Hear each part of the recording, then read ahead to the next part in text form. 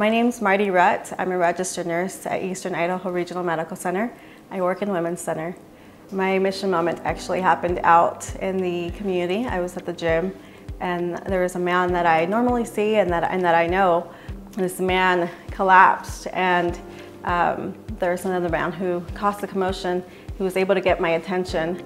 I turned around and when I looked um, to the ground I noticed that it was the man that I knew and so I rushed over and and I was also so impressed with everybody else who rushed over to help.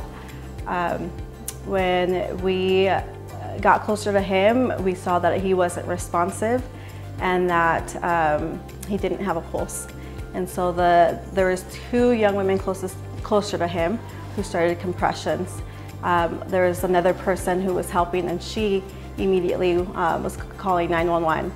Knowing the steps of CPR, the third step was to find an AED as soon as possible.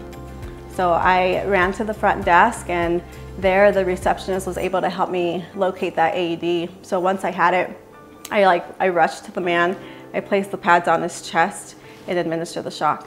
So luckily right after that we were able to feel a faint pulse and within seconds he was breathing and regained consciousness. I am so grateful for the outcome that we had and that I was able to be part of a team even now in the community.